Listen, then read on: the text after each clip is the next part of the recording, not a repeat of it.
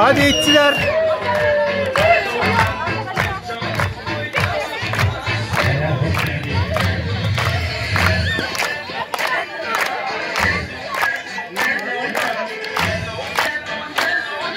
Daha canlı.